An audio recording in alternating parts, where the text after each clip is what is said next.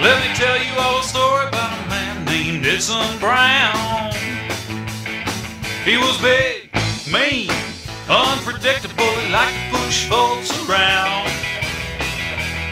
They say he killed a man down on Horseshoe Bend, but the body was never found.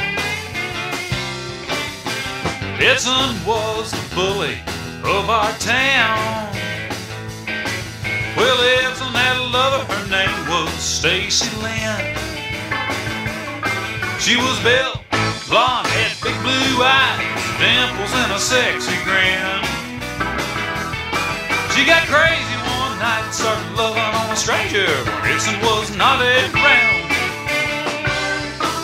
The stranger turned out to be a bully from another town. Everybody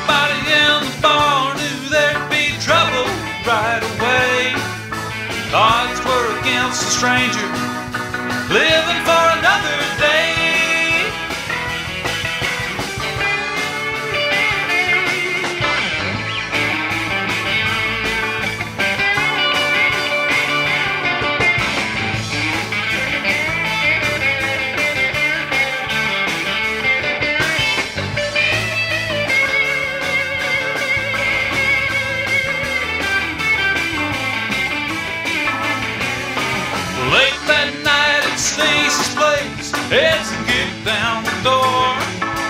stranger on the other side had a big bad 44. He fired once, twice, Edson roared like a lion, but the third shot put him down. That was the end of the bullying of our town.